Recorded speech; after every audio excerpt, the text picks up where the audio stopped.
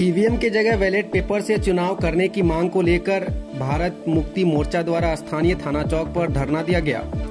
मौके पर भारत मुक्ति मोर्चा के आलोक कुमार यादव ने कहा कि ईवीएम हटाओ, बैलेट पेपर लगाओ और लोकतंत्र बचाओ अभियान के तहत आज भारत के पाँच सौ सड़सठ जिलों के मुख्यालय पर आंदोलन किया जा रहा है। उन्होंने कहा कि भारत में ईवीएम की विश्वसनीयता खत्म हो गई है यह एक इलेक्ट्रॉनिक डिवाइस है, जिसे लोग अपने हिसाब से अपने फ़ायदे के लिए इस्तेमाल कर सकते हैं।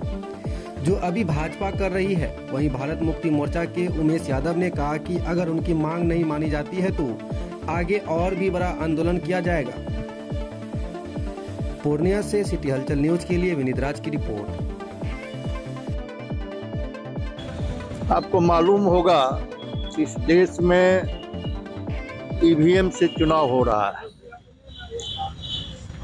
और हर आदमी, हर व्यक्ति हम लोग जानते हैं कि कोई भी इलेक्ट्रॉनिक डिवाइस टीवी हो, कार हो, हम मोबाइल से उसको हैक कर देते हैं चेंज कर देते हैं और ये मानव निर्मित कोई भी इलेक्ट्रॉनिक डिवाइस को चेंज किया जा सकता है। और डेमोक्रेसी में एक व्यक्ति के मत की कीमत है।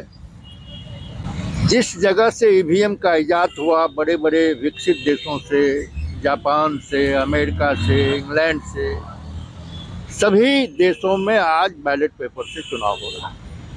और ईवीएम से नहीं होने का कारण है कि हम जहाँ बटन दबा रहे हैं, वो बटन किस छाप पर गया कमल पर गया लालटेन पर गया, हाथ पर गया, ये किसी मतदाता को मालूम नहीं हो पाता है। और कई जगह कलेक्टर के मध्य प्रदेश में जब वो ईवीएम पॉलिटिकल पार्टी को लेके अपना प्रदर्शन कर रहे थे तो वहाँ भी कलेक्टर और जो पॉलिटिकल पार्टी के लोग थे, उस जगह पर ईवीएम को जब दबाया गया तो वो प्रिंट वीवीपैट में निकल गया, कमल छाप में।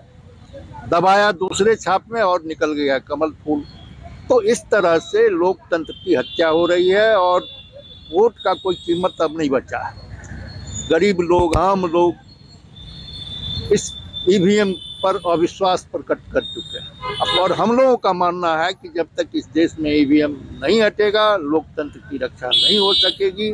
बैलेट पेपर के बिना निष्पक्ष चुनाव नहीं हो सकता है। कई एजेंसी, अभी सुप्रीम कोर्ट के एडवोकेट लोग वहाँ पर इलेक्शन कमीशन के सामने धरना प्रदर्शन कर रहे हैं। हम लोग का भी कार्यक्रम है। इकतीस तारीख को जनवरी को पूरे देश के लाखों लोग जाएँगे ईवीएम के खिलाफ में। इलेक्शन कमीशन का घेराव करने के लिए तो इसलिए ये जब तक ईवीएम रहेगा, इस देश में लोकतंत्र नहीं बचेगा। हम लोग ये भारत मुक्ति मोर्चा संगठन, जो ये तमाम देश में आज सभी पाँच सौ सड़सठ दिनों पर जिला मुख्यालय पर धरना प्रदर्शन हम लोग कर रहे हैं।